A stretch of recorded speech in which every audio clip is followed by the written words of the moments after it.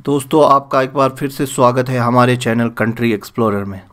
तो आज के इस वीडियो में हम आपके पास लेके आए हैं लेटेस्ट वीडियोस और लेटेस्ट जानकारी। यदि आप अभी कश्मीर आने का प्रोग्राम बना रहे हैं, मार्च या फिर अप्रैल 2023 में तो इस वीडियो को लास्ट तक ज़रूर देखें। तो आपसे निवेदन करते हैं कि अगर आपने अभी तक हमारे इस चैनल को सब्सक्राइब नहीं किया है तो हमारे चैनल को सब्सक्राइब ज़रूर करें। और अगर आप इस वीडियो को लाइक करते हैं तो लाइक का बटन ज़रूर प्रेस करें। तो दोस्तों, यदि आप एक अफोर्डेबल ट्रैवल पैकेज ढूंढ रहे हैं मार्च के लिए तो हम आपको बताना चाहेंगे कि कंट्री एक्सप्लोरर आपके लिए एक अफोर्डेबल ट्रैवल पैकेज लाया है, जो कि मार्च के लिए वैलिड है, जिसमें हम आपको थ्री नाइट्स और फोर डेज़ का पैकेज दे रहे हैं, मात्र पंद्रह हज़ार रुपये पर पैसेंजर के हिसाब से। इस पैकेज में आपका होटल जो कि एक थ्री स्टार होटल होगा। टॉप कैटेगरी का थ्री स्टार होटल। इसके अलावा मील्स जो भी आपका ब्रेकफास्ट और डिनर होगा। इसके अलावा आपकी जो कैब है, इसमें आपका एक कैब मिलेगी पर्सनल कैब जो आपको सभी डेस्टिनेशंस पे घुमाएगी, जैसा कि गुलमर्ग, पहलगाम, श्रीनगर। तो इन सभी को इंक्लूड करके हमने आपके लिए ये अफोर्डेबल पैकेज लाया है। जिसका कॉस्ट पंद्रह हज़ार रुपये पर पैसेंजर है, और आप इस पैकेज को व्हाट्सएप पे बुक कर सकते हैं। तो दोस्तों, अगर हम डेस्टिनेशंस की बात करें तो सबसे पहले ये जो वीडियो हम आपके सामने ला रहे हैं तो ये पहलगाम से लिया है, और ये कुछ दो चार दिन पुराना वीडियो है।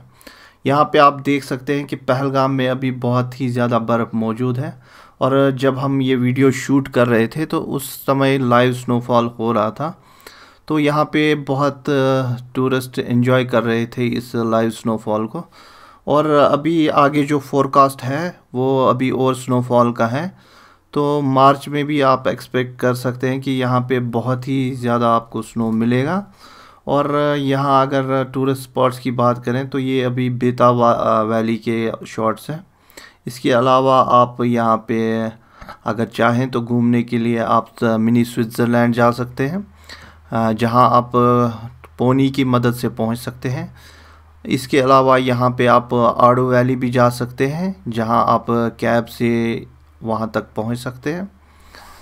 तो नेक्स्ट डेस्टिनेशन जो हमारी है, वो है गुलमर्ग। और गुलमर्ग की अगर बात करें तो गुलमर्ग में अभी करीब चार फीट स्नो मौजूद है।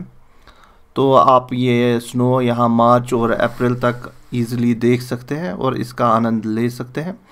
स्नो एक्टिविटीज़ की बात करें तो जब हम ये वीडियो शूट कर रहे थे, कुछ दो तीन दिन पहले तो यहाँ पे खेलो इंडिया विंटर गेम्स का थर्ड एडिशन अभी चल रहा था।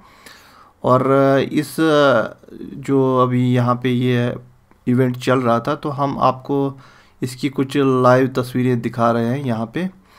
तो दोस्तों, ये जो मैच हो रहा है आइस हॉकी का, ये हो रहा है इंडियन आर्मी वर्सेस लद्दाख के बीच में। और आइस हॉकी के अलावा यहाँ पे स्कीइंग और भी जो विंटर स्पोर्ट्स हैं, उसके मुकाबले हो रहे थे।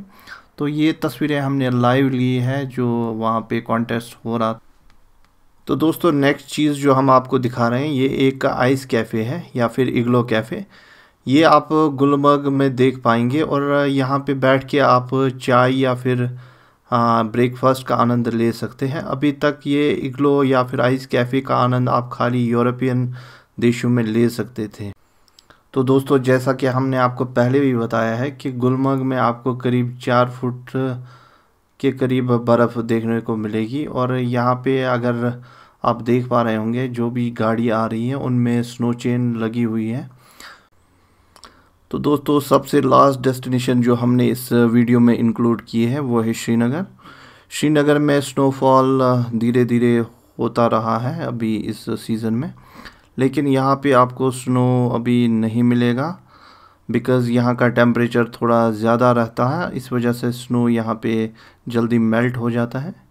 यहाँ पे अगर हम ये डल लेक की बात करें तो ये तस्वीरें हमने आज 18 फरवरी को लिया है और यहाँ पे बहुत से ज़्यादा टूरिस्ट का रश देखने को मिला, जो कि शिकारा राइड एंजॉय कर रहे थे और इसके अलावा यहाँ पे हाउस बोट्स में भी ऑक्यूपेंसी अच्छी खासी रही। अभी मार्च में यहाँ टूरिस्ट सीज़न स्टार्ट हो रहा है तो इस वजह से यहाँ का जो होटल्स और हाउस बोट्स की रेट्स हैं वो बढ़ने जा रही है। तो आप, अगर आप यहाँ अभी घूमने का प्रोग्राम बना रहे हैं तो आप अभी से अपने होटल्स या पैकेज बुक कर सकते हैं।